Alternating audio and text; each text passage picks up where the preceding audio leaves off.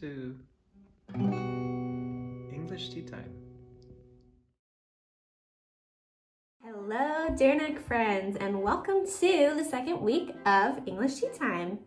Um, just to give you a quick little intro to the guy you just saw that was actually welcoming you to English Tea Time, that is Caleb and I's friend um, in the US. He is really funny and so we asked him to make that video. Maybe one day you guys can meet him, but his name is Ross, he's a dentist and we love him. So that's who that guy is. Um, today I want to talk to you guys about spring.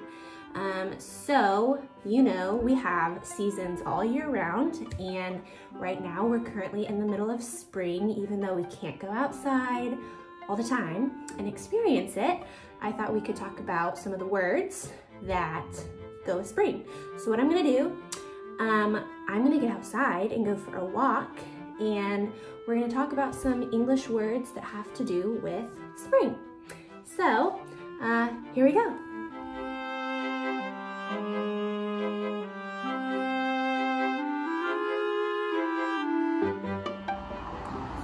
Start off with a super easy one. You should all know this.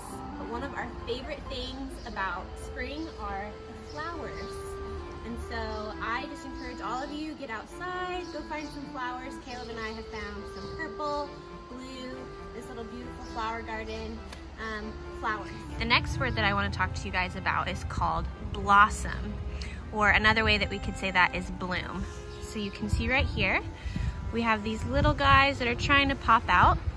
And in English, we would say the flower is blossoming. Oh, the city sounds, right?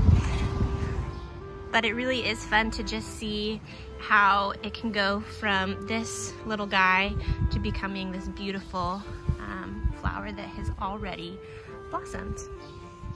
So this is a fun one to talk about, but something that we usually see come out in spring is a rainbow because after it rains, we will see something like that in the sky.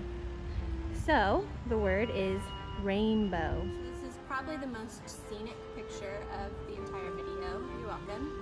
Um, but another word that I wanted to tell you guys about is called puddle.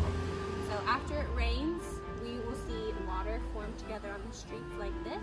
Usually kids love to jump in it in their rain boots, but right here we have this beautiful spring puddle.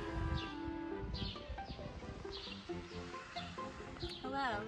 Did you see those gray skies up there? Are they your favorite thing to look at? Well, in America, we look forward to spring when we have sunny days and warmer weather. I'm sure you do here as well. I'm being super cheesy for you right now. But unfortunately, the last couple of days have been gray and cloudy and rainy. With that, we have showers that come down, rain showers. Excuse the car. Phrase that we use in English that we will use all throughout spring is this. April showers bring May flowers.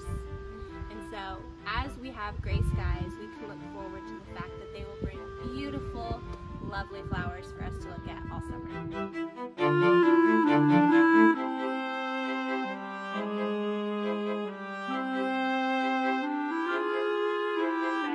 I hope you enjoyed our little excursion out and about. If you have not been able to go outside, maybe that video was a breath of fresh air for you.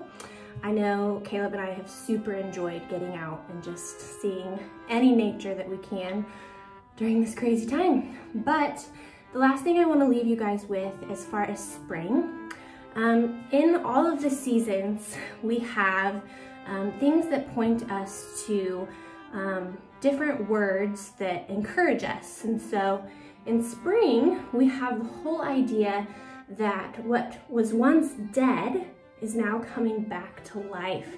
And so a lot of us, we have experienced winter and cold and we're ready for um, things to come back to life. And so the word that I wanna leave you guys with today, as far as spring, um, is the word hope.